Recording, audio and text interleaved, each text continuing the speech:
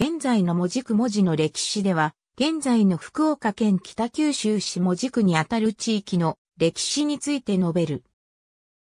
文字は本州から九州への玄関口であり、また日本海と瀬戸内海を結ぶ場所でもあり、古くから交通の要衝であった。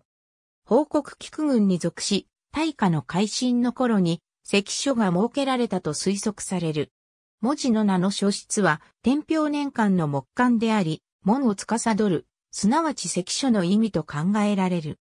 平安末期には九州北部との結びつきの強かった兵士が文字を支配したと考えられ、八島の戦いに敗れた兵士は、文字関により、この地に安徳天皇の柳の御所を構えたが、関門海峡の壇能らの戦いで敗れ、滅亡した。その後は、平家木官僚として、鎌倉幕府に与えられた。13世紀半ば、下総近房が特捜によって、自当職に任命されて、文字関に下校し、その後土着化して文字師を称するようになった。鎌倉時代後期に武前国守護として菊軍を支配したのは北条氏の一族金沢氏であった。南北朝時代、九州北部では北朝九州短大方に対し南朝宮方が次第に優勢となったが、文字氏一族は短大方と宮方に分裂し、文字城や猿羽城をめぐって攻防戦が続いた。戦国時代には中国地方の大守護大内氏が文字氏を国人として家臣団に組み込みながら北九州に勢力を及ぼした。文字は日民貿易の拠点としても重要な役割を果たした。東春方の謀反によって大内氏が滅ぶと戦略上の用地であった文字城は毛利元就と大友義重との間で度重なる奪取合戦の的となった。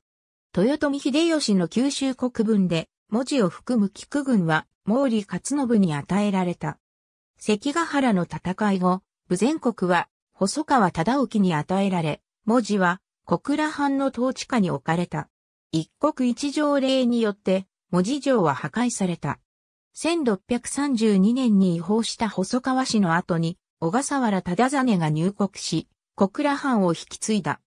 大里地区は関門海峡を渡る際の宿駅、港町として各藩の本陣が設けられたが、北前船航路の寄港地として繁栄した下関に比べると、田野浦港が風町、塩町の補助的な港として利用されたにとどまった。今の門司港地区は、塩田が広がるひなびた土地であった。開国後、小倉藩は砂漠派に立ち、第二次長州政党に際しては、幕府から尊上倒幕派の長州藩への討ち入りを命じられたが、逆に長州軍が田野浦や大里に上陸して侵攻してきて、小倉藩は撤退を余儀なくされ、文字を含む菊軍は明治3年まで長州藩の占領支配下に置かれた。関村であった文字の転機が1889年以降の築港と鉄道敷設であり、文字港は筑豊の石炭の輸出港として急速に発展を始めた。商社や金融機関が次々、文字港に支店を構え、大里地区には鈴木商店系の政党、製粉などの工場が建設された。1899年にはいち早く市政施行し、文字市が成立した。大正時代にかけて、文字港は石炭輸出からセメント会社、製糖会社、紡績会社などの製品輸出、原料輸入にシフトしていき、日本有数の貿易港として栄えた。バナナの叩き売りも名物となった。文字港地区には銀行や商社が集まり、一丁ロンドンと呼ばれた。一方、港湾労働者の生活水準は低く、米騒動も大規模化した。昭和期に入ると、大連航路などの国際航路も開けた。貨物量の激増を受けて、関門鉄道トンネルが開通したのは1942年である。太平洋戦争末期には、文字はたびたび空襲を受けたほか、関門海峡への機雷投下を受け、海峡が封鎖される事態となった。戦後は、機雷による港湾閉鎖が長期化したこと、主要な貿易先であった中国との国交が断たれたことなどから、文字港の地位は低下していった。1963年、文字市は小倉市、若松市、八幡市、戸畑市と五市対等合併し、北九州市の文字区となった。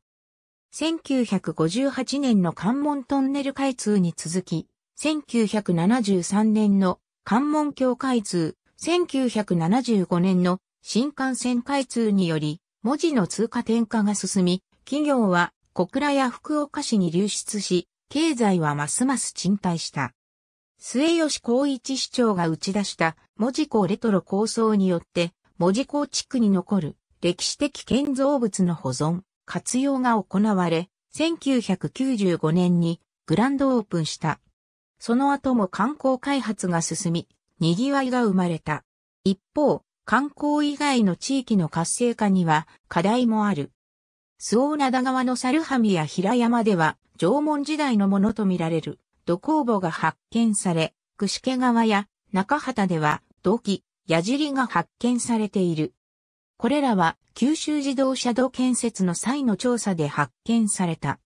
中畑遺跡では縦穴式住居跡が確認され、三万電式土器を出土した。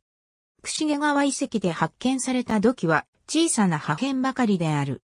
弥生時代の遺跡としては、大里地区の大里桃山遺跡、周防灘川の大積浜方遺跡で土器等が出土している。弥生時代、稲作の先進地域だった北部九州の中でも、音賀川伊東の北部前は、音賀川異性とは文化が異なり、十古門、綾杉門、宇城門、山形門などを施した多彩な壺は、北部前独特の文化であるとされる。古墳時代の遺跡としては、周防灘川の猿ミに、船泊古墳、大里地区に、小金塚古墳、小森江地区の文字港寄りに、丸山古墳と呼ばれる古墳があったとされるが、現存しない。丸山古墳は、1916年に工事で破壊され、五十橋一、鉄塔山が発見された。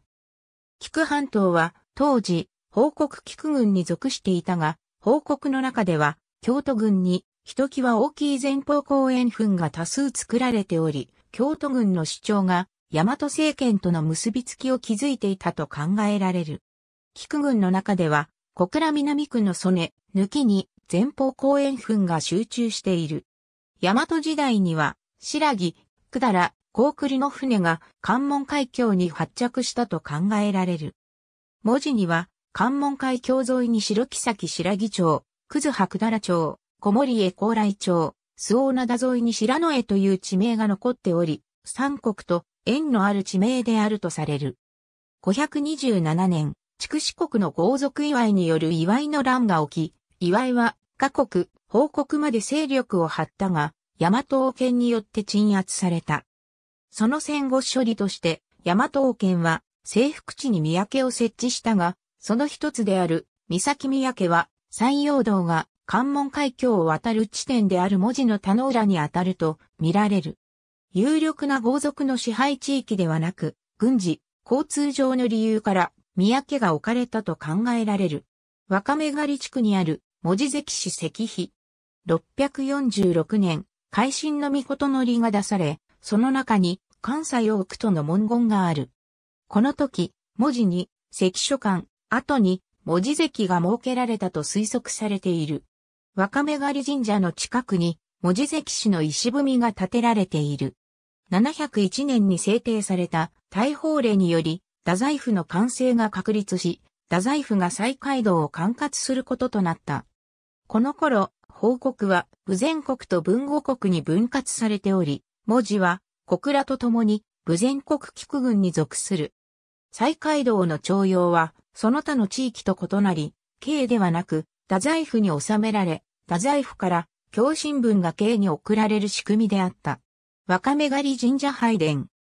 太宰府を中心に、道路網が整備され、太宰府から京に向かう太宰府道は、文字の森崎の馬屋に至って、関門海峡を渡り、山陽道に通じていた。演技式には、武前国社岬、伊東塚区15匹との記載がある。森崎の場所については、田野浦ないし、若目狩りとする見方、小森へあるいは、小倉北区大間との見方がある。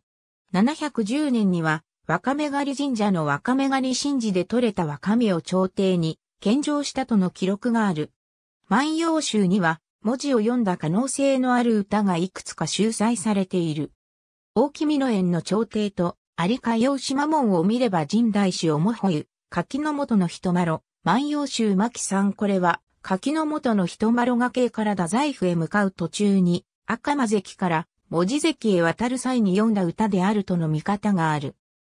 早友の瀬戸の岩もあゆ走る吉野の滝になお、及びづけり、大友旅人、万葉集巻録これは、720年に、隼人の反乱鎮圧のため、進む隼人自節大将軍に任じられた大友旅人が同様に、文字関に渡った際に、吉野を懐かしんで読んだと言われる。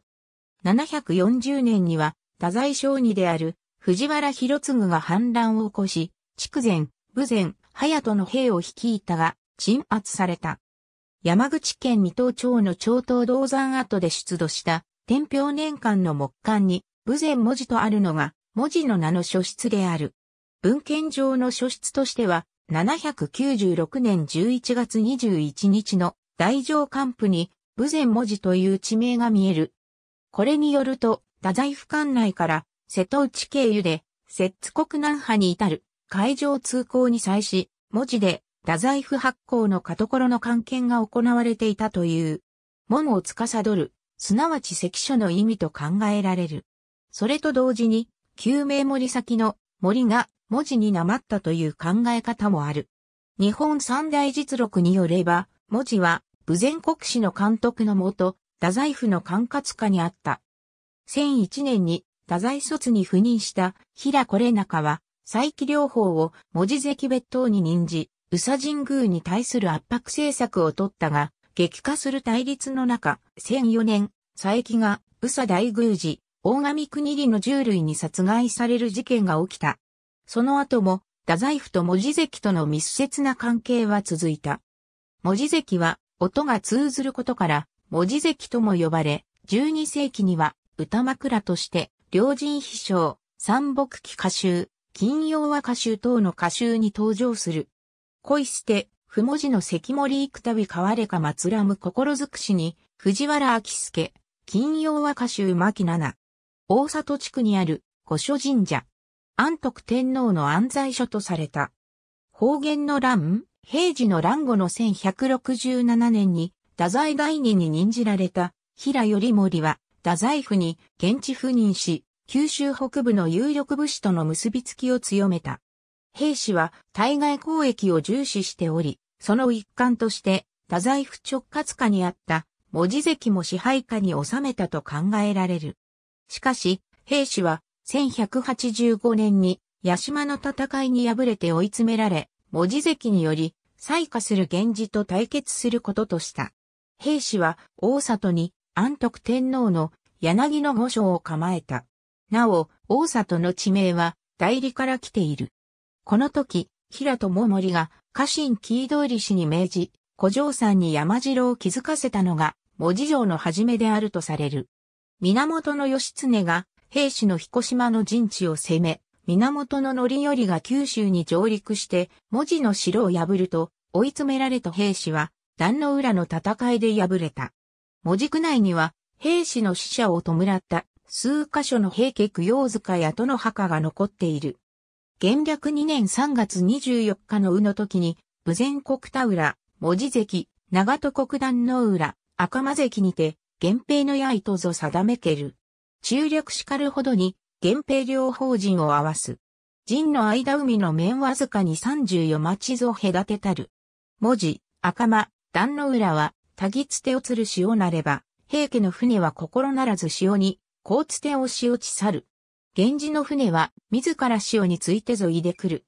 平家物語巻11、段の裏合戦のこと兵士が九州に持っていた所領は、平家木官領として召し上げられ、その多くが鎌倉幕府に与えられた。文字関もその一つである。旧文字にある甲州八幡神社。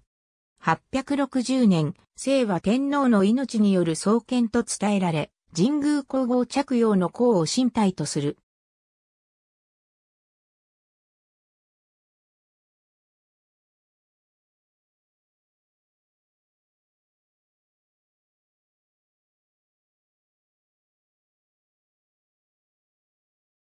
1244年、北条時頼の時代、文字氏の祖となる下宇佐近房が文字関に下校してきたと伝えられている。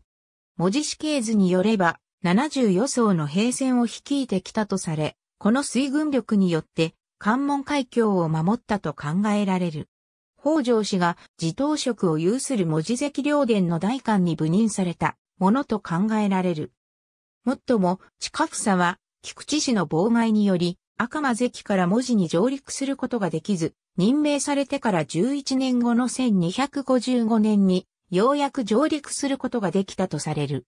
当時、文字関は、楠原、柳、大積、井川、吉市、片野の文字関六加号に分かれていた。甲州八幡神社は、元、文字関八幡宮と言い、文字関六加号の産砂神として、文字師の数形を受けた。文字六加号には、下宇佐氏が支配する文字関領伝と八幡宮領が混在していた。下宇佐氏は当初本城である文字城の他に三角山城、足立城、若王子城、関築城、金山城の五市城を構えた。下宇佐氏は鎌倉末期から南北朝時代にかけて土着化して文字師を称するようになり、それぞれの所領ごとに、型の系文字師、基地師系文字師などと呼ばれる。文字師は、特捜機関として、特捜領となった文字関を支配した。また、鎌倉後期の1279年頃、北条氏の一族、北条実政が、武前国守護であった時期に、菊軍が金沢氏の所領となったと考えられる。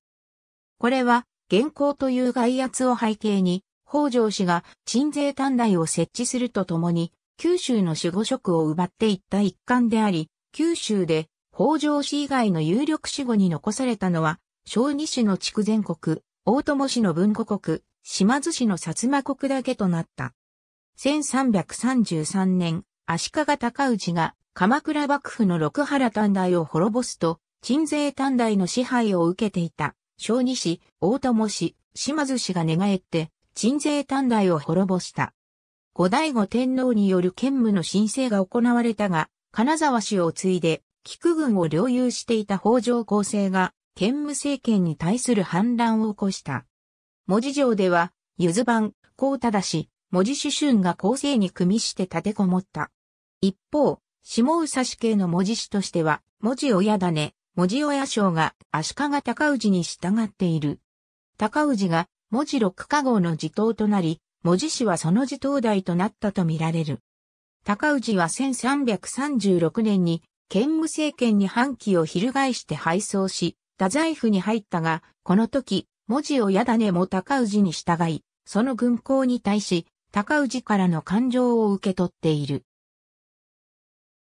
官能の上乱で高氏と足利忠義が対立する中、忠義の養子、足利忠冬が九州に入ると、九州は北朝を九州丹大方、助との型、南朝宮方の三つどもへの複雑な情勢となった。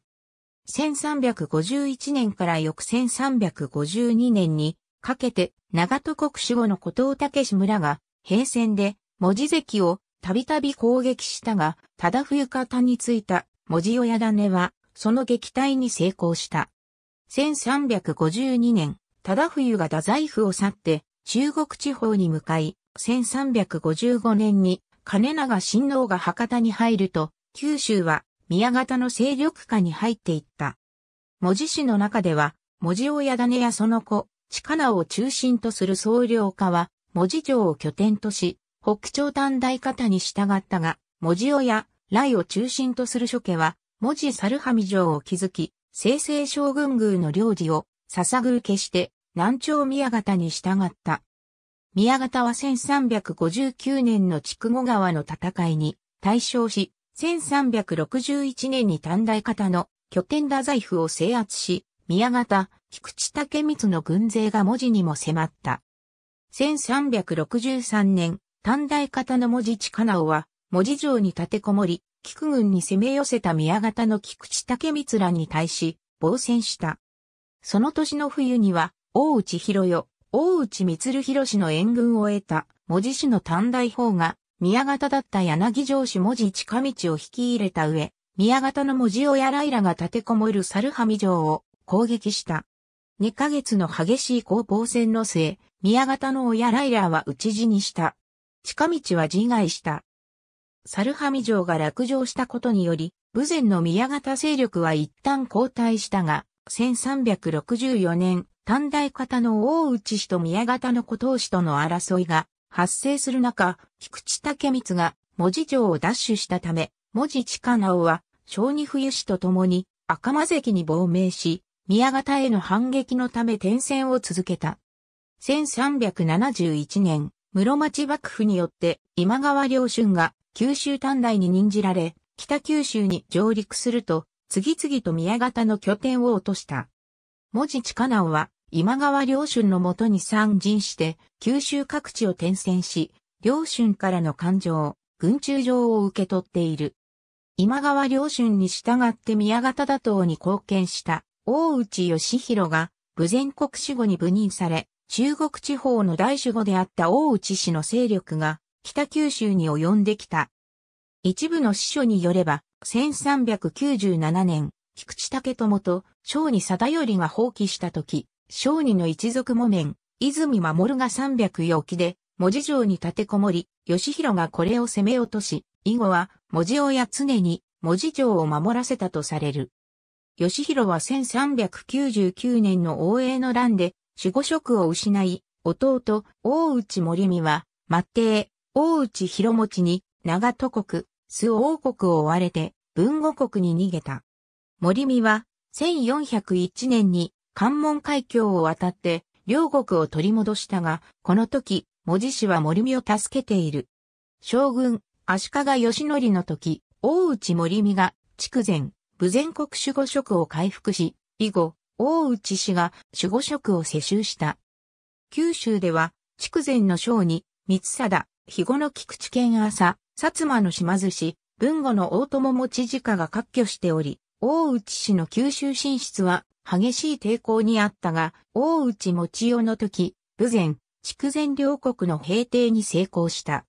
15世紀前半には、九州短大の権威が失墜し、大内氏のような大名権力が荘園領主を支配するようになった。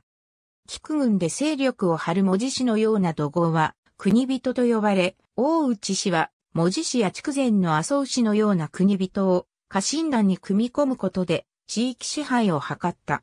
李氏朝鮮の新宿船が表した海東諸国記の日本国際街道九州の図。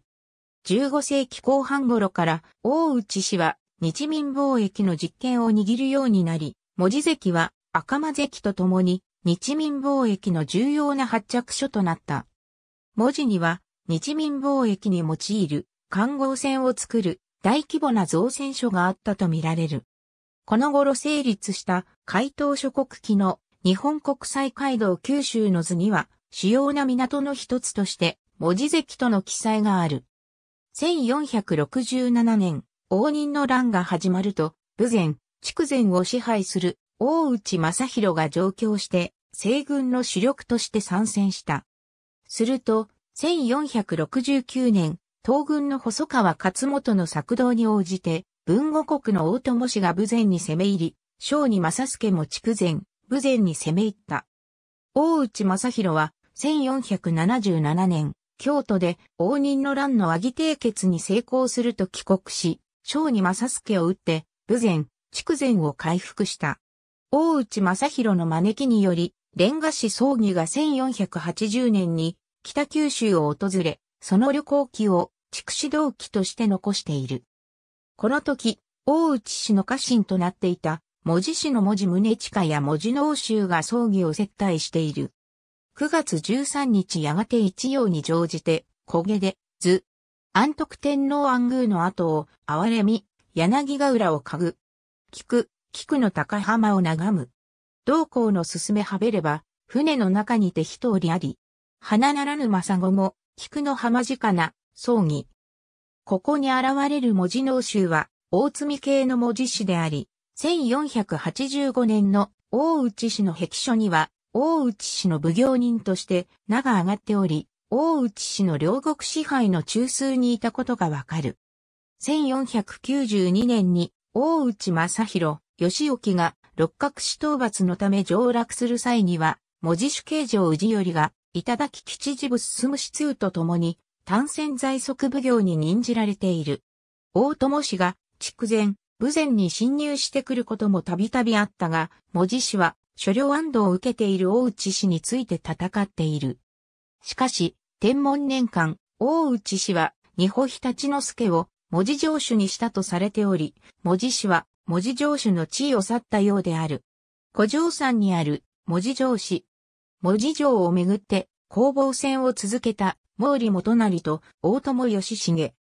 1551年、大内義隆が重臣、東春方の謀反によって自害した。東春方は文後国の大友義重の弟、大友春英を大内氏の当主に迎えた。しかし、東春方は1555年、大内義隆の維新、毛利元就に攻められて廃止し、大内義長も1557年、元就によって自害させられた。この時、大友義重が弟議長の救援に行かなかったのは、毛利との密約に基づき、北九州の大内領を大友氏が継承することを期待していたからのようである。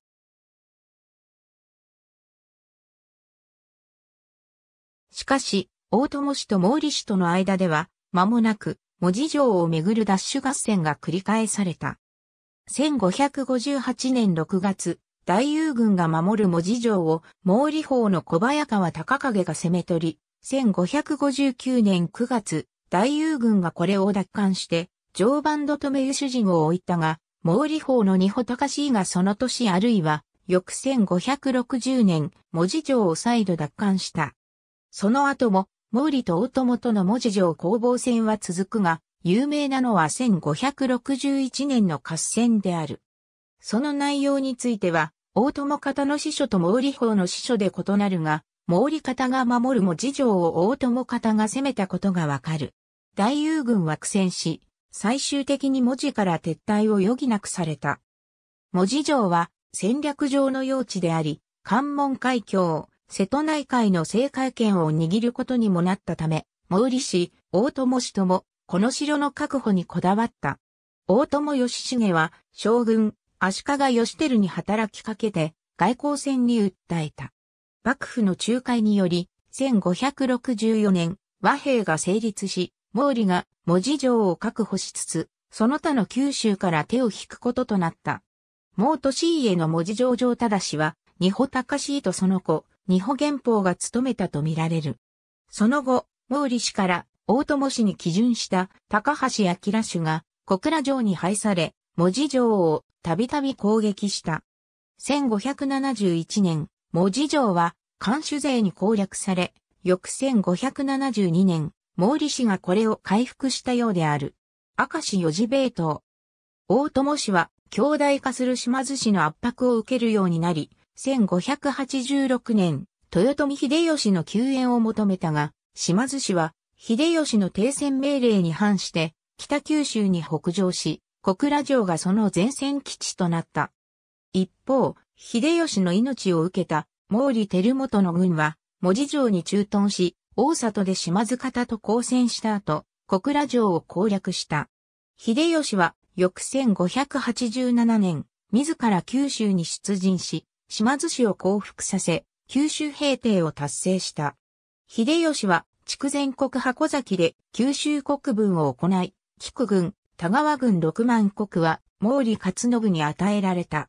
なお、文字氏は1585年までは菊半島を支配していた事実がわかるが、その後のことはよくわかっておらず、時代の転換期に支配権が失われたとみられる。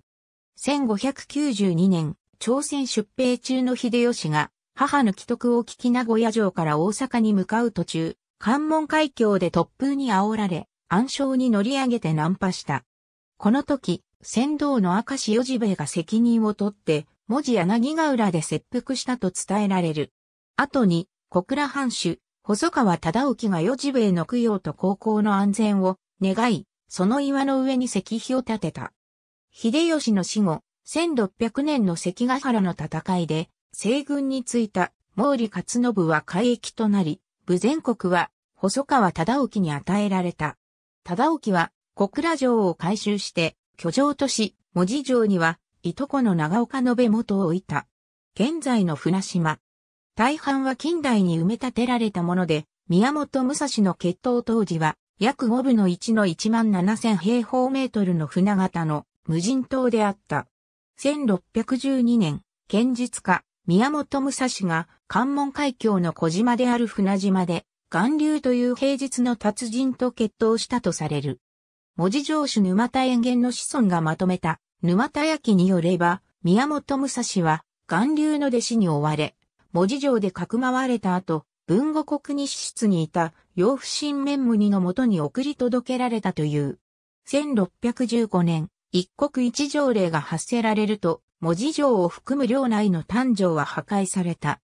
二代藩主、細川忠俊は、村ごとの戸数、人口、牛馬数、職業を調べ、1622年に人畜改め町を完成させた。これによれば、菊郡の戸数は4426個、人口は1895人であった。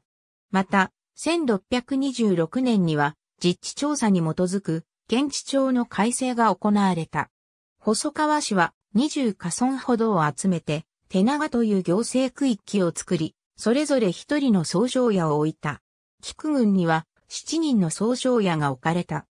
この制度は小笠原氏の時代にも継承され、幕末の時点で、菊郡には、白の、富の、小森、片の、今村、津田という六手長があり、文字の村は、富の手長に属している。1632年、細川氏は、肥後国の加藤忠弘の後に転封され、その後の武前国には、明石藩主、小笠原忠真が入国した。これは、将軍、徳川家光が、戸様大名ばかりであった九州において、要衝を抑えるために、不大大名である小笠原氏を廃した国替えであった。小笠原氏は、自他ともに、幕府の九州短大としての役割を認めていた。1732年夏には、西日本を飢饉が襲い、菊郡でも餓死者5906人を出す、大きな被害があった。猿ハミ神殿を開発した石原宗助の聖徳碑と、猿ハミ地区。1757年から大里村の庄屋を引退した石原宗助が、遠浅の入り江であった周防灘川の猿羽湾の干拓工事を行い、1759年、33丁部余りの神殿開発に成功した。銀188巻余りの開発費は、宗助が資材を投じたものと言われる。天明の大飢饉の時、猿羽神殿の備蓄米によりこの地の付近ではが死者が出なかったと伝えられている。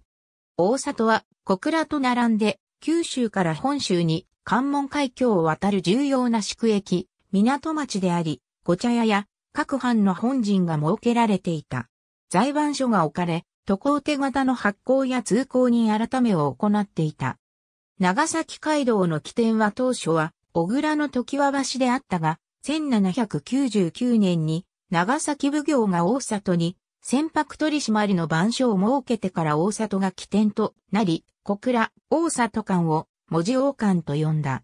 文字王間は参勤交代の行列や公用人の通行、宿泊が多く、藩は百人府という組織を設け、助公役に当たらせた。1802年にこの地を訪れた、菱士や平七は、筑紫の利行の中で、武前文字浦には、人家105、60件ばかりあるが見ゆ。中略大内、大里は中略人家300件ばかりあり、諸行方の都会下も船離り、されば本陣などもありと言い減り、と記している。1826年に大里を訪れたシーボルトは、江戸散布機構で、大里は小さな町である。下関に渡るには、最短距離で楽な都会地である。と書いている。大里には1677年に開発された銅山もあった。また、近世中期以降に北海道、大阪間で北前船航路が開設されると、寄港地である下関が繁栄し、船の修理を行っていた文字の田野浦も発展した。田野浦には1750年頃の法暦年間に有利ができたと言われる。1835年には埋め立て地に信仰が築かれた。もっとも、下関と比べ、田野浦は風町、塩町の補助的な役割に過ぎなかった。周防灘川のへ崎灯台近くにある宋清志巨像。新居は1850年に亡くなるまでの13年間、ナンパの多い部先の浜で、航海の目印とするため、宅発によって得た焚き木で一晩中火焚きを続けたという。一方、今の文字港地区は、極めてひなびた土地であった。1813年、小倉藩の軍大役所が、塩田開発のため、埋め立てを計画し、4年後に完成したが、堤防の決壊で採算が合わなかった。結局、小倉の守る英仁助が引き取り、1840年代になって、ようやく採算が取れるようになった。明治初頭の時点で、千代田は約10丁部、6区画に分かれていた。江戸時代後半、文字地区はしばしば台風接近などにより、集中豪雨に見舞われた。規模の大きいものとして1828年8月、死者79人、居宅倒壊後1911棟などの被害を出す大風雨が発生している。1858年、日米修好通商条約が締結されると、1860年にはイギリス人が文字の楠原に上陸し、村人が大騒動をするということがあった。翌1861年にもイギリス船が文字置きに停泊し、測量を行っている。小倉藩の家老小宮民部は解剖に力を入れ、1863年、大里、くず葉、文字などの要所に砲台を築いた。この年、朝廷から上位結構を迫られた将軍、徳川家持は各藩に5月10日をもって上位結構すべしとの通達を出した。5月、長州藩の草加玄髄を中心とする、尊王上位派は、田野浦沖に停泊していた、アメリカ商船ペンブローク号に、藩の軍艦で砲撃を行い、続いて、フランス蒸気船、オランダ軍艦を砲撃した。長州藩の使者が小倉藩にすぐに上位を実行するように迫ったが、小倉藩は外国船から攻撃を受けていないのに発砲すべきとの幕命を受けていないとして、これに応じなかった。6月、アメリカ軍艦とフランス軍艦が報復のため関門海峡に来襲し、下関を攻撃したが、小倉藩は生還し、これが長州藩の恨みを買うこととなった。小倉藩が上位の要求に応じないことを見て、高杉新作の騎兵隊を中心とする長州藩兵、約110人が田野浦に上陸し、砲台を占拠するという挙に出た。小倉藩が幕府に長州藩の応募を訴えたので、幕府は朝日丸で中根一の将を下関に派遣したが、長州藩は強行であった。ところが、8月18日、朝廷で後部合体派により、長州藩が追放される事件が起き、9月、長州藩兵は田野浦から引き上げ、小倉藩は窮地を脱した。下関砲撃事件で戦死したフランス水兵の慰霊碑とも、若め狩り公園内。1864年、イギリス、フランス、オランダ、アメリカの四国艦隊が下関を砲撃する事件があり、小倉藩は文字の海岸に警備の兵を配したが、藩士は見物に終始した。同じ年、金門の変を機に幕府による第一次徴収政党があり、唐津藩、福岡藩、薩摩藩、熊本藩、柳川藩、佐賀藩、久留米藩などの藩兵4万人長が小倉に集結したが、西郷隆盛の仲介により海戦は回避された。1865年、長州藩では、高杉新桜尊上党幕派が政権を奪取し、幕府は第二次長州政党に踏み切った。幕府から小倉に派遣された老中、小笠原長幸は、小倉藩に長州への討ち入りを命じ、小宮民部率いる小倉藩は、文字の田野浦や、文字村、楠原村に陣を張ったが、他藩の応援はなかった。6月17日、長州軍が奇襲にで、軍艦と壇の浦砲台から田野浦と文字を砲撃した。山形京介率いる騎兵隊や報告隊が古城山島の大久保海岸に上陸し、古城山の砲台を奪取し、一旦撤退した。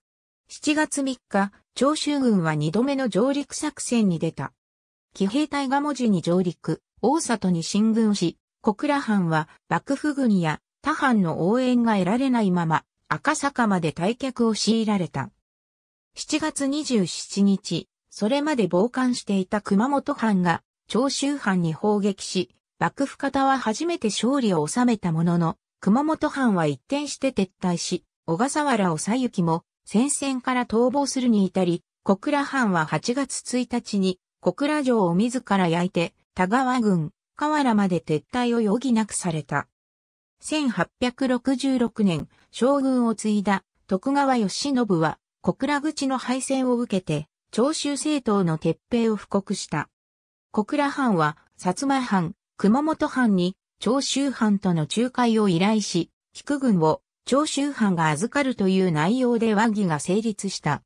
明治維新後の1869年8月、長州藩が藩籍奉還を行い、菊軍は日田県の直轄地となった。しかし、長州藩は撤退せず、支配を続けていた。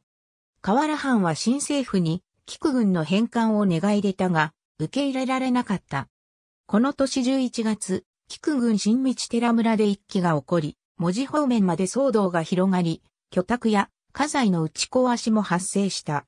長州藩は、このこともあって、1870年2月、菊軍から引き上げた。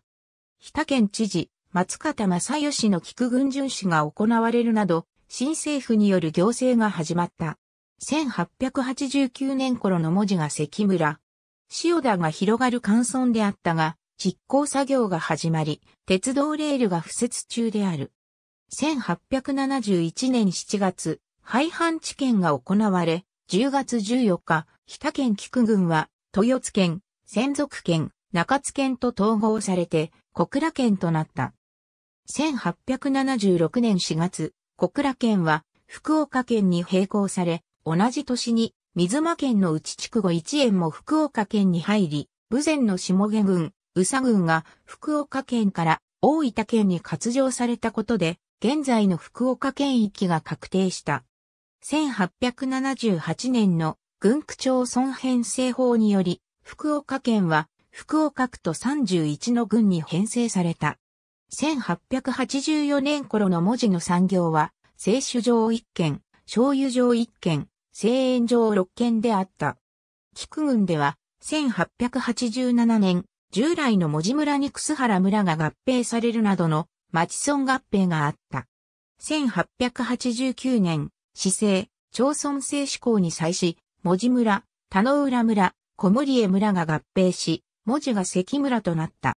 また、大里地区には、柳ヶ浦村、周防灘川には東郷村、松が、江村が成立した。東本町の埋め立て地を囲む幅12メートルほどの堀川に鎮西橋が渡された。現在、堀川はなく、鎮西橋の橋柱のみが残っている。1886年、福岡県知事に就任した安場保津和は、県内視察の上、文字を公安、鉄道開発の適地と考えた。しかし、財政難のため財閥の資金に依存せざるを得ず、1889年、渋沢栄一、安田善次郎、浅野総一郎らが参入して、文字実行会社が設立され、約11万4千坪の埋め立てと船溜まりの建設が行われた。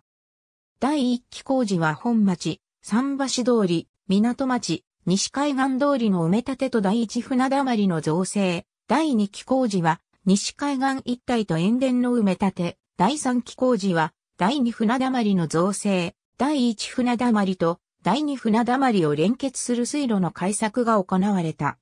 工事は1898年に完成した。第一期工事着工間もない1889年11月、文字港は国の特別輸出港に指定され、石炭、硫黄、米、麦、小麦粉の5品目の取り扱いが許可された。工事が完成した1898年には、木炭、セメント、硫酸、マンガン鋼、サラシコの輸出扱いが追加され、1899年には、品目制限のない一般開港の指定を受けた。1891年に開業した初代文字駅。現在、その付近には、文字と書かれた駅名標と旧霊マイル標のプレートがある。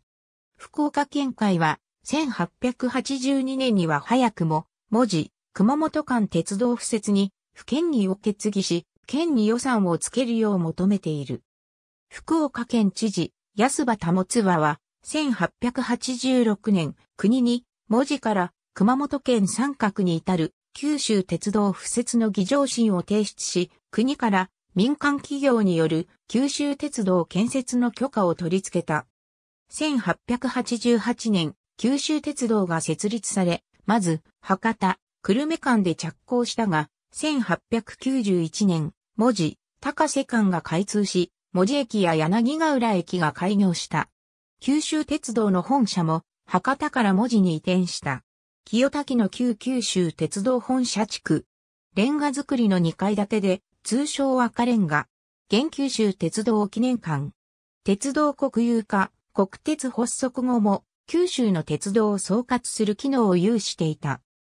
同じ頃、石炭産出地である筑豊では、1889年に筑豊工業鉄道が設立されて1891年に若松、能形間で開通、1893年に折尾経由で文字港への石炭輸送が可能となった。同社は1897年、九州鉄道と合併した。また、武前地方で1893年に設立された豊州鉄道は、井田、行橋間、井田、ご当時間を開通させ、1901年に九州鉄道と合併した。なお、九州鉄道は1907年に鉄道国有法により国有化され、文字に九州帝国鉄道管理局が置かれた。従来、筑豊の石炭輸送は恩賀川の周運に頼っていたが、鉄道により九州各地に送るとともに、文字、若松の輸出港に直送できるようになった。このうち、若松港は水深の浅い道海湾に面し、大型船が寄港できなかったのに対し、文字港は水深が比較的深く、本州との接点にあり、国内外の物流に適しているという優位があった。文字の開港当初の輸出品は少量の石炭と塩くらいであったが、鉄道開通により筑豊の石炭の輸出港として大きく発展した。1890年の輸出額は34万円余りであったが、1901年の輸出入額は1885万円余りにまで成長した。また、当時は船の燃料に石炭が使用されていたことから、汽船への粉量炭の供給基地でもあった。なお、当時、鉄道は下関とつながっておらず、1889年に文字の石田平吉が都線業を始め、1896年に下関側で関門汽船が設立され、業者が乱立した。1901年に山陽鉄道が馬館まで開通すると、山陽汽船商社が関門鉄道連絡船を運行した。1911年には日本最初の貨車構想として、小森への笠松町と下関の竹崎を結ぶ関森、航路が開かれた。また、1892年の大阪商船による尾道、文字航路を皮切りに、数多くの国内、海外の定期航路が就航した。北九州には良質の石灰岩が分布していることもあり、文字で最初の近代化工場はセメント工場であった。東京の浅野セメントが1894年に文字工場の創業を開始した。1891年開業の家入り鉄工所も一時栄えた。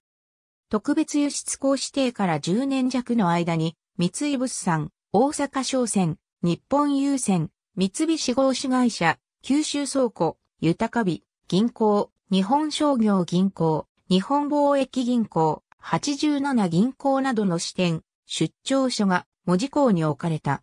さらに、1898年には、日本銀行西部支店が下関から文字に移転したに、文字支店と解消。日清戦争後、国は製鉄事業の設立を図り、その用地として、恩賀郡や綿村、菊郡柳ヶ浦、広島県坂村の3カ所を候補地とした。各地で誘致活動が行われたが、大里は選ばれず、1897年、関営八幡製鉄所が開業した。大里にある旧札幌ビール、九州工場。大里は鈴木王国と言われ、大里から小森へにかけての海側は、鈴木商店の工場群で占められた。1903年には、鈴木商店の金子直吉が大里製陶所を開業し、1907年にライバル企業の大日本製陶に売却した。金子は売却益の一部で1910年に大里製粉所を設立した。1911年には九州電線、1913年には鈴木商店による帝国ビール、大里ガラス製造所、大里主製製造所が設立された。小森江地区に設立された神戸製鋼所文字工場、日本夜勤も鈴木商店系である。文字で事業を行い、全国レベルに事業を拡大した人物として、出光佐蔵、中野金次郎、中村忠七郎、相田武馬がいる。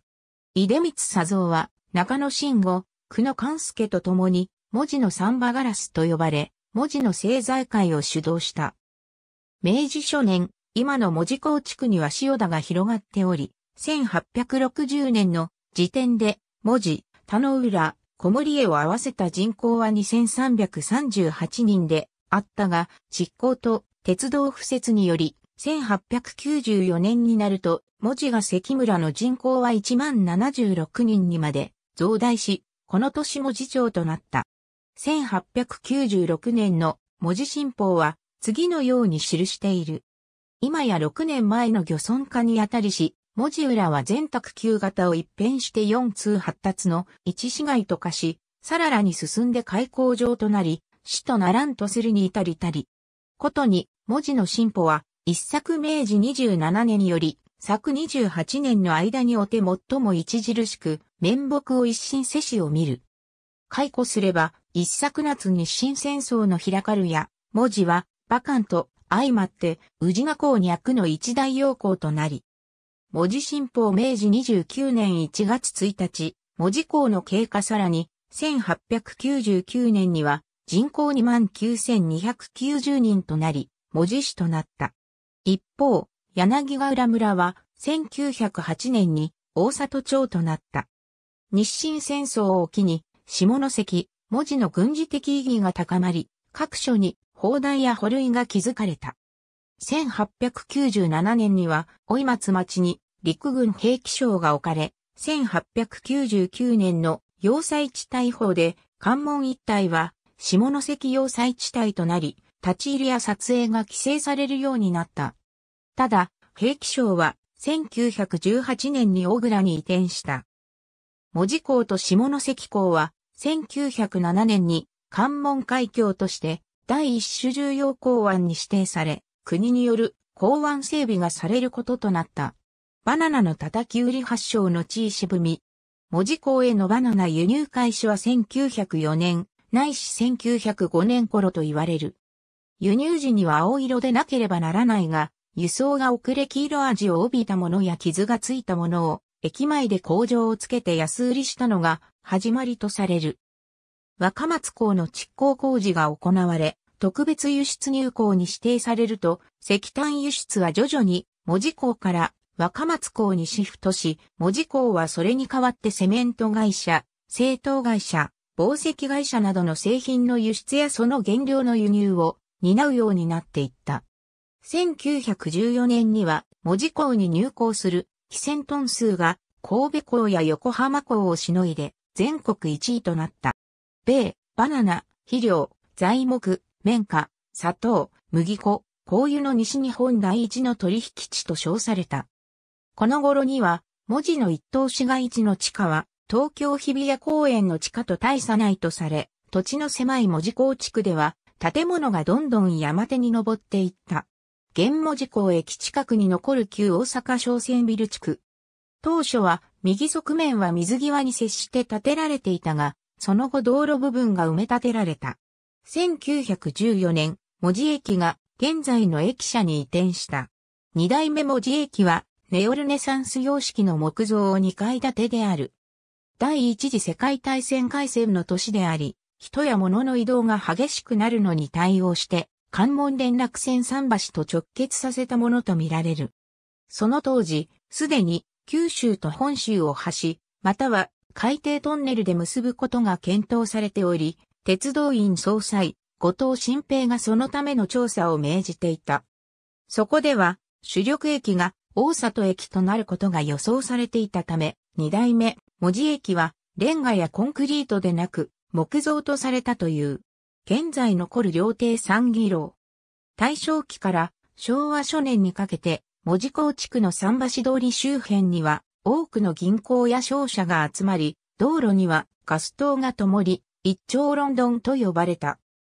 桟橋通りは山側から文字港駅前、その先の不当まで通る道であり、これと交差する東西道路とともに街並みの軸となった。現文字港駅の他にも、旧文字税関、旧大阪商船、日本優先ビルなど、この時期に建てられた建物のいくつかが文字港レトロ地区に残っている。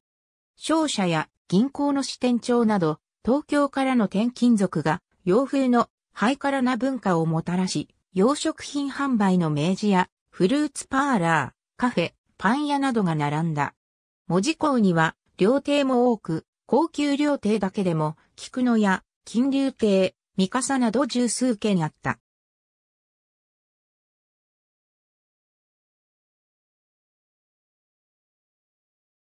1931年に清滝に移転した料亭三義楼が現存している。明治時代に埋め立て地内に作られた遊郭もあった。1911年、九州電気軌道が文字と小倉、黒崎を結ぶ路面電車を開業し、東本町や大里に停留所が置かれた。汽車よりも気楽に乗れる路面電車は市民の足として人気を博した。1923年には東本町2丁目から他の裏までの文字実行線が建設された。1913年以降、多数の映画館も開業した。大正期には先行した文字市と小倉市に続き、若松市、八幡市、戸畑市も市政施行し、北九州工業地帯を形成するようになった。中央資本による大工場が多いが、立地上、原料獲得に有利であることを背景に、素材中心の産業を発展させた。1915年頃の文字港。一方、文字港での石炭輸出を支えていたのが、ゴンゾ、ゴンゾと呼ばれた沖中市であった。汽車で運ばれた石炭を橋家に移し、それを沖町の巨大な汽船に届け、人力で運び上げる重労働であった。文字港は入港船舶数に対し岸壁が足りなかったため、沖合に停泊した元船での荷役が多かった。1905年当時、文字市の人口44,113人に対し、中市は13,886人いたという。極めて低賃金であり、労働争議も多発した。文字港の場合、女性の沖中市が多いことも特徴であった。喧嘩と爆撃は文字の名物と言われ、労働者の街では、日本刀やピストルが持ち出される乱闘事件も日常的にあった。文字市では、1911年に紫川上流の菊郡中谷村、福地家を水源とする水道の給水が始まり、徐々に整備されていったものの、上下水道や住宅などのインフラの整備は人口急増に追いつかず、特に労働者層の衛生状態は歩く。これらがたびたび流行して多くの死者を出した。1918年7月、シベリア出兵を前にした米火急騰により、富山県で米騒動が始まると全国に飛び火し、文字では8月14日に始まった。米屋の売り惜しみに対する抗議で市民が米屋前に集まったことで本格化し、沖中市が合流して数千人に膨らんだ。文字市内の米屋のほとんど、呉服屋、酒屋、醤油屋などが襲撃を受けた。小倉第十二師団が鎮圧にあたり、検挙者は200人ないし300人に上った。文字では、救護会ができて米価が安定したので数日後に収束したが、米騒動は、筑豊の炭鉱地帯にも広がっていった。九州の労働運動、社会運動の源流となる出来事であった。米騒動後、内務省は物価安定、治安維持のために各地に公設市場を作ったが、文字では1920年、陸軍兵器省の跡地に、追松町公設市場を設け、戦後の中央市場の原型となった。1930年頃の文字周辺地図。文字市は、大里町と東郷村を合併しており、周防灘川の菊群松が、江村はまだ独立している。1913年、文字市と菊半島北東部の東郷村とを結ぶ桜水道が開通し、瞬間な峠道を通らなくてよくなり、行き来が飛躍的に便利になった。1921年には初代椿トンネルも開通し、桟橋通りから周防灘川の飛尺田、常見方面に自動車やバスで容易に通行できるようになった。大里町は1923年2月1日、文字市に編入された。ついで、1929年11月1日、東郷村が文字市に編入された。1942年5月15日、松が江村が文字市に編入されて、現在の文字区域が成立した。なお、現在の文字区役所庁舎は、1930年に落成した。1929年に国際旅客ターミナルとして建てられた旧大連航路、上屋。1931年、文字港の修築工事が完成し、大連航路、天津航路も開け、文字港は国際港として世界に知られるようになった。1ヶ月に200隻近い外交客船が入港した。満州事変以降の大陸進出に伴い、文字港は貿易とともに軍事物資や兵員輸送の拠点となった。関門海峡連絡交通の構想図。当初、海底トンネルは小倉につながる案が立てられていたが、素通り化を恐れる文字側の運動により、小森家に出入り口が設けられることになった。明治時代から九州と本州を結ぶ海底トンネルの構想はあったが、1930年頃になると貨物の量が激増し、従来の連絡船による貨物輸送では追いつかなくなったことから、海底トンネルの検討が本格化した。1935年に鉄道大臣内田信也が視察に訪れ、弟子町、小森江ルートの採用が決まり、1936年に関門鉄道トンネルが着工、1942年7月に貨物列車の運行が開始した。1929年頃の文字駅。文字港駅から関門連絡船乗り場に向かう地下道には太平洋戦争中、特別高等警察が通行人を監視する監視港が作られた。これに伴い、1942年4月1日、それまでの文字駅は、文字港駅と解消され、それまでの大里駅は400メートルほど南側に移転して文字駅となった。文字駅は7月、東京、大阪、京都に次ぐ特別一等駅に指定され、戦後まで九州の玄関口として賑わった。一方、文字港駅を経由せずに、下関駅と文字駅がつながることとなり、文字港地区にとっては衰退の予兆となる出来事でもあった。1937年8月には、壇の浦、若目狩り間で関門国道トンネルも着工され、1944年に貫通したが、戦時下の資金難、物資調達難により、事業は中断された。太平洋戦争中、文字市で最初の空襲は、1944年6月16日の B-29 による北九州空襲であり、文字市では大里、大杉町、小金町付近に500ポンド爆弾が投下され、死者34名、負傷者25名を出した。北九州5市は防空指定都市に指定され、空襲対策として人員疎開、建物疎開が行われた。文字市の人員疎開は1944年に3088世帯1644人、1945年に1174世帯3721人に上り、疎開先は熊本、佐賀、大分、鹿児島が多かった。日本商船の80%が通行する関門海峡はアメリカ軍の集中的な攻撃目標となった。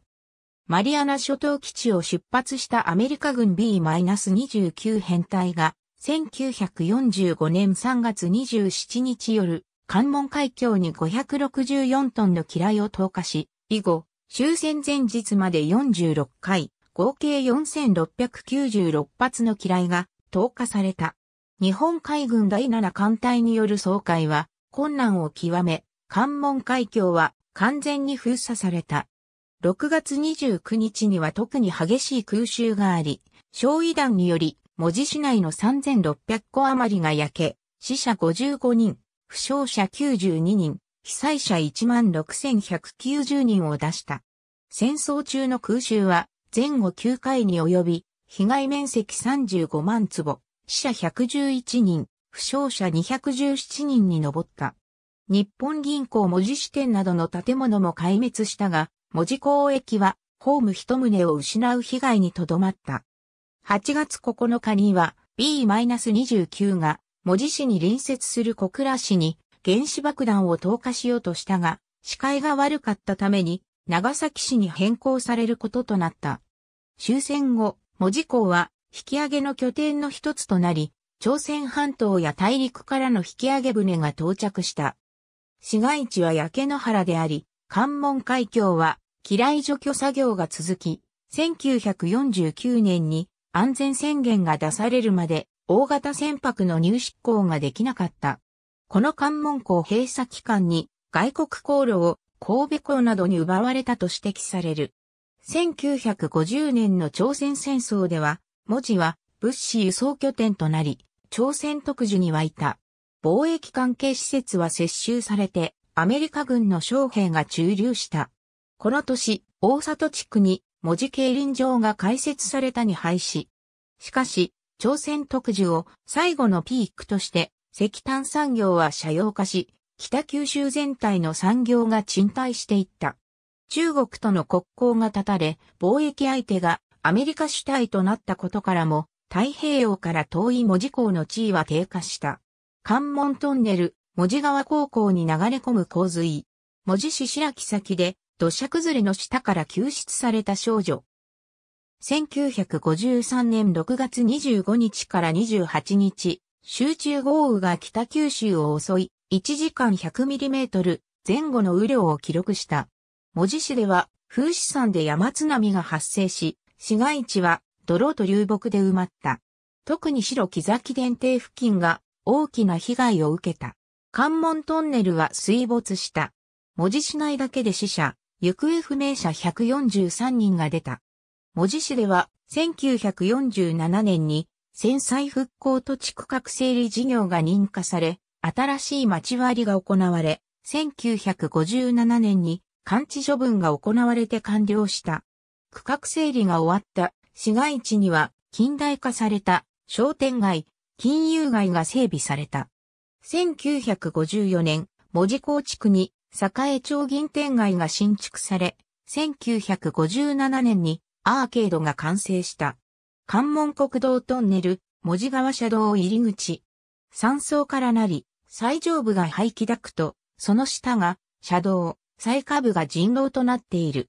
戦争中に事業が中断されていた関門国道トンネルは1952年に工事が再開され、1958年3月に完成した。この時、文字トンネル博覧会が若女狩り会場と追松会場で開かれ、昭和天皇、皇后が来臨し、入場者数は112万人余りに上る盛況であった。また、これに合わせて関門国道トンネル入り口と古城山頂とを6分で結ぶロープウェイが開設されたが、間もなく乗客が減り、1964年に廃止された。一方、関門連絡船もトンネル開通で利用客が減少し、1964年に終了した。明治以来、北九州の各市と下関市との合併論はたびたび持ち上がっており、昭和に入ってからも3回合併運動が展開されたが、失敗に終わっていた。文字市は1948年に北九州語市合併総合研究委員会ができた時には下関市を入れた六市合併を譲らなかった。その背景には合併により港湾機能が小倉に移転し、文字がバスへ化して衰退する恐れがあるという懸念があった。しかし、1960年、八幡市長、大坪淳がご市市長会でご市合併を提案したことを機に合併が現実性を帯びるようになった。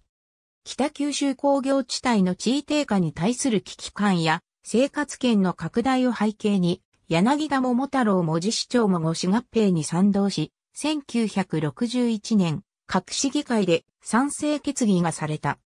氏名は市民から募集された名前の中から北九州市に決定し、1963年2月10日に北九州市が発足、4月1日に政令指定都市となり、文字市は文字区となった。合併を機に、1964年、文字港、小倉港、同海港の3港は、北九州港管理組合が管理する北九州港となった。文字港地区から望む関門橋。高速道路の九州自動車道と中国自動車道を結ぶ計画は1962年から検討されていたが、1968年に日本道路公団によって着工され、1973年11月に関門橋が開通した。鉄道、国道トンネルに続き、関門橋の開通により、文字構築は完全に通過点となったとされる。もっとも、貨物に関しては、関門橋の開通により、文字への集積が進んだ。朝鮮戦争以来、1972年に全面解除されるまでの間、アメリカ軍による西海岸の不当施設の接収が長期化したこともあり、田野浦の港湾整備が進められていたが、北九州市は1971年に田野浦コンテナターミナルを開設し、さらに立浦コンテナターミナルを造成し供用開始、田野浦、立浦一帯を臨海工業地とした。中国、韓国、東南アジアとの間で自動車部品、工業製品、雑貨などのコンテナの取扱量が急増した。1961年に交流電化された九州と直流電化方式の本州との間で電気機関車を入れ替える必要があるため、高直流量用の国鉄 EF30 系電気機関車でリレーした。文字駅はそのための重要な停車駅であった。1975年、山陽新幹線新下関、小倉間の新関門トンネルが開通して、東京、博多間の新幹線全線が開業した。新幹線は文字で止まらない上、在来線でも関門をまたぐ寝台特急が激減し、小倉、博多を中心にダイヤグラムが組まれるようになって、それまで電気機関車の入れ替え駅として活躍していた文字駅の繁栄が失われる転機となった。小倉、黒崎、さらに新幹線の終着点である福岡市が発展する一方、文字は経済成長から取り残された。他方、経済的な発展から取り残されたがゆえに、歴史的な街並みが残され、後のレトロ事業につながった側面もある。2000年に全路線が廃線となった西鉄北九州線の路面電車車両。モータリゼーションの進行に伴い、交通渋滞が深刻化したため、1985年10月、文字、砂妻の路面電車が廃止となり、他の西鉄北九州線の路線も順次廃線となった。企業は小倉や博多に九州支店を移すところが増え、1987年の国鉄分割民営化後、JR 九州は本社中枢機能を福岡市に移転し、文字工経済への影響が大きかった。文字では、経済が賃貸する中、老朽化した建物、倉庫群が取り壊しの対象となり、旧文字税関、旧大阪商船、旧文字三井クラブなどの歴史的な建物も解体されようとしていた。文字工レトロ事業で復元された旧文字税関と第一、船溜まり周辺に整備された商業施設。1986年に北九州市長に就任した末吉光一は、翌1987年、文字港に残る歴史的遺産を活かして街を整備する文字工レトロ構想に着手した。特に、1988年に文字工駅が国の重要文化財に指定されたことを機に、洋風建築保存、活用の機運が本格化した。この年、北九州市の文字工レトロ巡り、海峡巡り、推進事業が自治省のふるさと、づくり特別対策事業に採択され、予算が付与された。運輸省の歴史的港湾環境創造事業を利用した旧文字税関の復元、第一船田まり出入り口の羽橋、ブルーウィング文字などの西海岸地区緑地整備事業、有効都市大連市の旧東西鉄道事務所を複製した国際友好記念図書館の建設も進められた。総事業費約300億円が投入され、1995年3月、文字工レトロがグランドオープンした。第一船だまりを中心に賑わいが生まれた。その後、1997年から2007年にかけて、文字工レトロ第2期事業が実施され、九州鉄道記念館や海峡ドラマシップなど、新しい観光施設、宿泊施設、商業施設も次々オープンした。かつての文字蓄港が建設した文字港、外浜を通る線路には2005年まで貨物列車が走っていたが、平成筑豊鉄道文字港レトロ観光船のトロッコ列車が走るようになった。2014年には三義楼が保存修理工事を経て一般公開された。2001年に閉店した山城屋。一方、1937年に文字港地区に開業し、文字唯一のデパートとして親しまれていた山城屋が小倉を中心とするデパート戦争に取り残され、1994年に倒産手続きに入り、2001年に閉店し、経済の衰えを象徴する出来事となった。観光地化された中心部を外れると、人通りが少なく、錆びれつつあるとの指摘もある。ありがとうございます。